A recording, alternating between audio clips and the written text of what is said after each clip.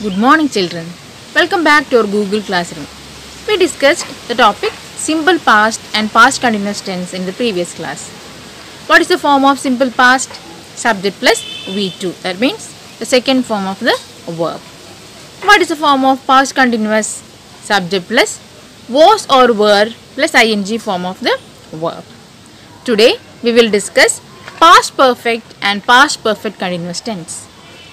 Third one, past perfect tense. The form of past perfect tense is subject plus had plus V3. Here also no need to check whether the subject is singular or plural. With both singular and plural subjects we can use had plus V3 third form or the past participle form of the verb. We use past perfect tense to denote an action completed at some point in the past.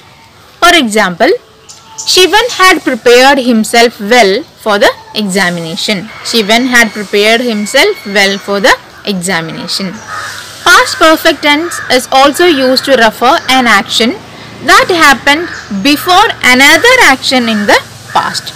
That means if there are two actions in the past, we can use the past perfect tense to refer the first action. For example, the train had left before we reached the station. The train had left before we reached the station. Here, two past actions are there. Which are they? Train had left and we reached the station. So, which action happened at first? That is, the train had left. So, we have to use past perfect tense. That means had plus V3 with the first action first completed action and with the second completed action we have to use the simple past tense. The train had left before we reached the station. Only after the train had left we reached the station. Another example i had read the novel before i watched the movie. I had read the novel before i watched the movie. Past perfect continuous tense the form of past perfect continuous tense is subject plus had been plus ing form of the verb. That means both with singular as well as plural subjects we have to use had been plus ing form of the verb. No need to check whether the subject is singular or plural. We use this tense to describe an action that was going on for some time in the past and was completed in the past.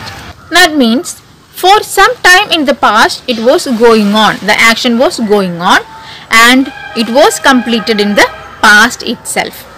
For example abhijit had been working on his project until late at night.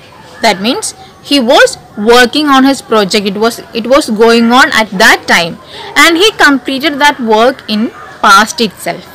The past perfect continuous tense often uses since or for to show when an action started in the past and for how long it continued. For example, it had been snowing since morning, so I stayed inside. It had been snowing since morning, so I stayed inside. That's all for today. A YouTube URL is attached. Watch the video. A test paper is also attached. Submit your answers as soon as possible.